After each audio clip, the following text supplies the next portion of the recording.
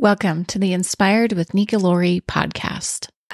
Can you can you share your story of um, how did you heal yourself? How did you um, uh, stop this uh, RA from really destroying your body?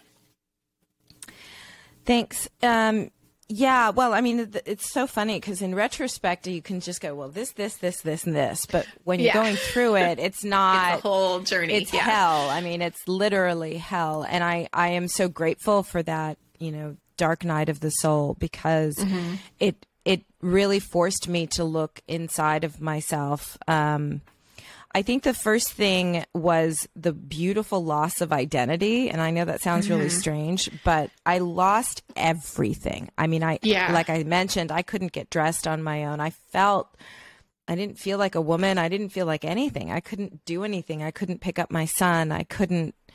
So there was an extraordinary loss of identity. And what I found when I lost all the things that I thought I was, I found the truth of who I really was. And mm-hmm, um, mm-hmm. while my body was in pain, I noticed that I was still here inside somewhere. There was, it's, it's difficult to put into words, and I'm trying to kind of, um, be simple about it, but there was a very strong depth of soul that was there. Yeah, like that, your essence or something. Yeah.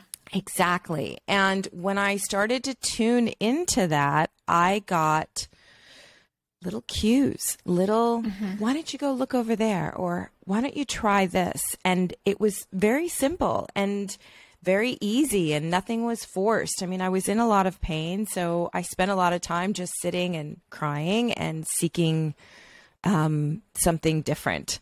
And mm-hmm. I knew I wasn't going to take the drugs because I wanted to hold on to my lifespan.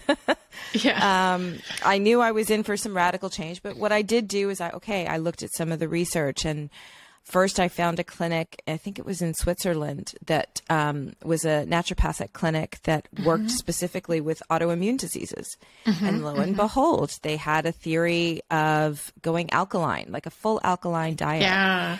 Um, and I said, wow, nobody's talked to me about alkaline and acid and acidosis and all of this stuff that I had then go, wait, I read, I read more and more and I read more and more. And they have a lot of success with that. So I thought, okay, you can do that. You can totally change your diet and and that's not a huge price to pay considering the pain I was in.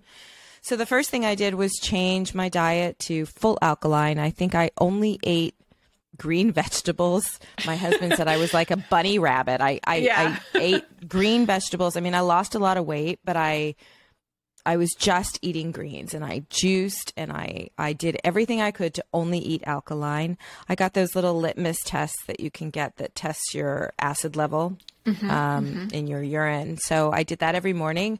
I was hugely acidic, hugely mm-hmm, acidic. So I mm-hmm. said, okay, there's something here.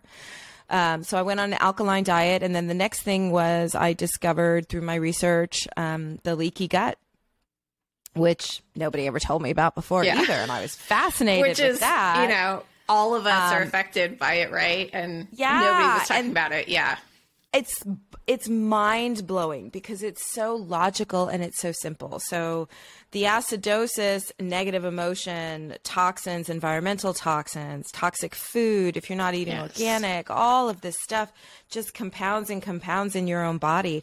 I didn't know. You know, we kind of just mm-hmm. just go around life not not thinking about this stuff. But so those are the two main things that I did physically. Yeah. Was I went after healing a leaky gut.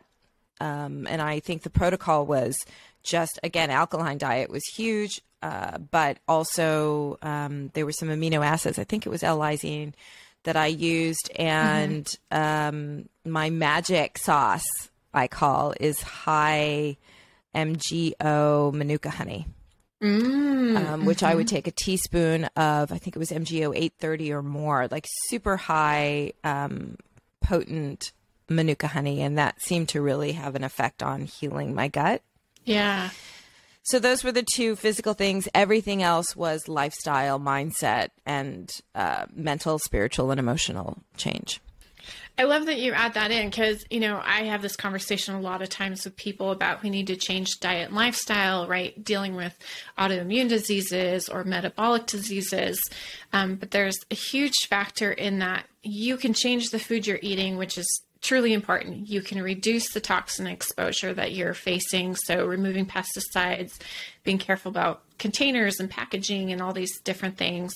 Um, but there really is an important side to you. Also have to change your your mental state around your disease around your approach towards life around um, your, your spiritual connection whether that's a religious thing or just an internal connection whatever that is.